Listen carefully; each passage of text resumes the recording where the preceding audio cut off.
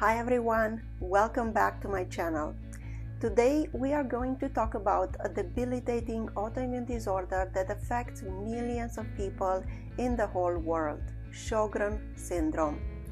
Sjogren syndrome is a condition that causes dryness in the eyes, in the mouth, but also in other parts of the body. And it can also lead to fatigue, joint pain, and will increase your risk to develop lung disease and lymphoma. But did you know that incorporating the right vitamins into your diet can help you alleviate some of the symptoms of Sjogren syndrome? In this video, we will discuss about the best vitamins for Sjogren syndrome, where can you find them in your food, or if you need to use supplementation, how much you should take rheumatologistoncall.com. So let's dive into the first vitamin, vitamin D. Vitamin D is also known as the sunshine vitamin, and it is crucial for people with Sjogren syndrome as it will regulate the immune system and it will reduce inflammation. In my previous video about the role of vitamin D in rheumatoid arthritis, that is another autoimmune disease. I have explained to you what vitamin D is and why is it critical in regulating the immune system cells. Actually, your immune system cells have receptors for vitamin D.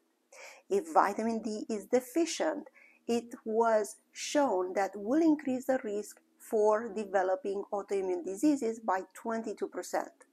This was just published in a very large study called the VITAL study. You can learn more about this study in this video in my channel.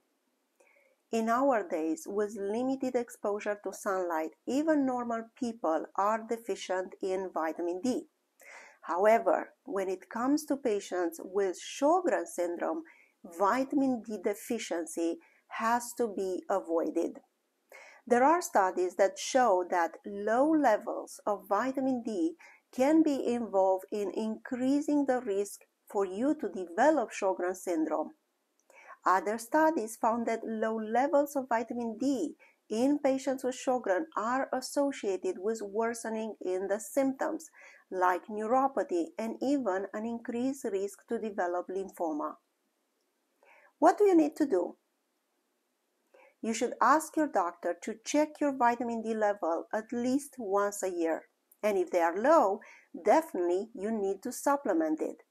If vitamin D level is in the normal range, you can still consider to take a supplement, but you should always talk to your doctor and make sure you do not take too much as this can be extremely dangerous.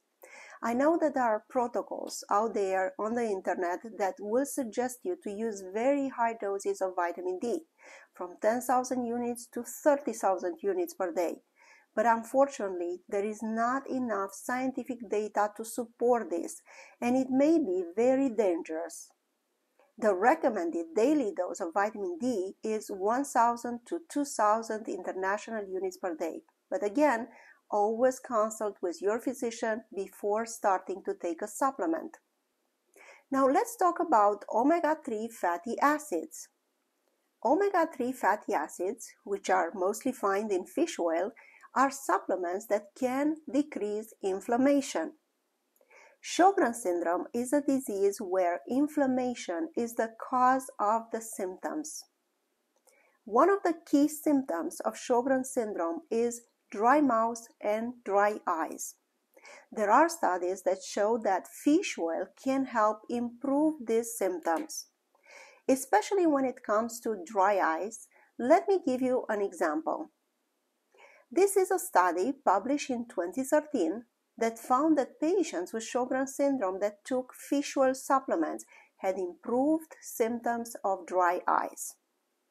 They had 264 patients with dry eyes that were randomized to receive one capsule of 500 milligrams two times a day containing EPA and DHA for three months, and they compared that to placebo.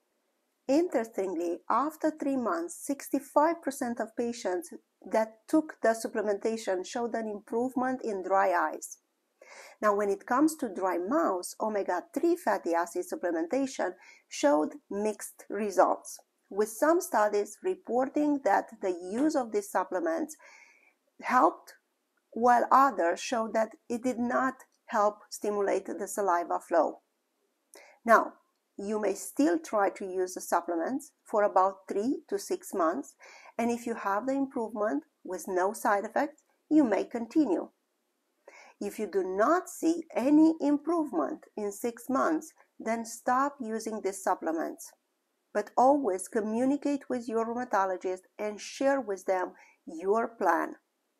I do encourage my patients to increase the intake of omega 3 fatty acids through their diet. You may find omega 3 fatty acids in fatty fish like salmon, sardines, and mackerel, but you can also find it in flax seeds or chia seeds. You should try to eat fish at least two to three times per week. Vitamin B. Vitamin B complex is a group of essential vitamins for maintaining healthy skin and mucous membranes and also supporting the nervous system and reducing stress levels as many patients with Sjogren might have gut inflammation and they have a lot of gastrointestinal complaints like bloating, diarrhea, abdominal pain, the absorption of many of these vitamins can be impaired. For example, vitamin B12 deficiency was found in some patients with Sjogren syndrome, and that caused pernicious anemia. So that's why it's important to make sure you check the levels of vitamin B and including vitamin B12. If you are deficient, supplementing with a B complex vitamin can help you with your energy level and with your fatigue. Vitamin C. Vitamin C is also important for people with Sjogren syndrome. Vitamin C is a powerful antioxidant that will boost your immune system and will reduce inflammation. It is also important for maintaining healthy skin and mucous membranes. In patients with Sjogren, it was found that certain molecules involved in mediating inflammation, like prostaglandin 1, can be decreased. Now, vitamin C helps to increase the biosynthesis of these molecules that decrease inflammation. An animal study found that vitamin C supplementation improved the synthesis of prostaglandin 1 and also the symptoms of Sjogren's, like dryness in the mouth and dryness in the eyes. Vitamin C can be also found in a variety of fruits and vegetables, but sometimes eating too many oranges or drinking too much water with lime can cause burning in your mouth. So adding a supplement might be an option for some patients. The recommended daily dose of vitamin C is between 500 and 1000 milligrams per day. Now, foods high in vitamin C that I encourage you to include in your diet are strawberries, bananas, apples, but also vegetables like tomatoes or broccoli, Brussels sprouts, cabbage, and cauliflower. Vitamin E. Last but not least, we have vitamin E.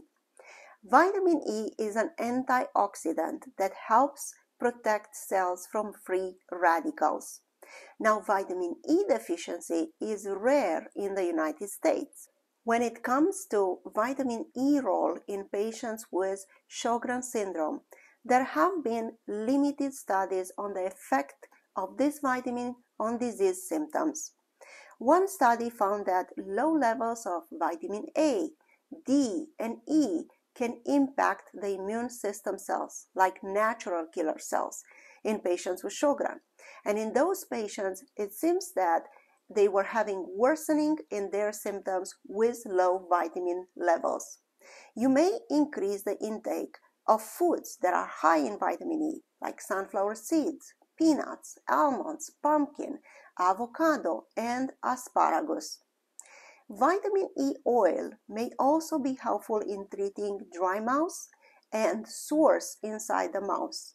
If you have sores in your mouth, you should always call and discuss about that with your rheumatologist. In conclusion, incorporating the right vitamins into your diet can help alleviate some of the symptoms of Sjogren's syndrome. But it's important to always remain in contact with your rheumatologist that can test you for your levels of your vitamins and can make appropriate changes. You can always supplement the foods that are high in these vitamins into your meal plan, and that will be very helpful. If you or someone you know is living with Sjogren's, remember that you are not alone and there is always help available. Now, what vitamins did you try? Which one was helpful to you? I want you to please share your experience with other people with Sjogren as we are all here to learn and support each other. Don't hesitate to reach out for the care and support that you need. My company, Rheumatologist on Call, is able to see patients in many US states and helps patients when they need it the most, breaking geographical barriers. Thank you for watching. I hope you found this information very helpful to you. And for more information on Sjogren syndrome and other autoimmune diseases, be sure to subscribe to my channel because here you will find a lot of information that is useful to you. Don't forget to give me a thumbs up, like, share, subscribe, and leave me a comment. Have a wonderful day.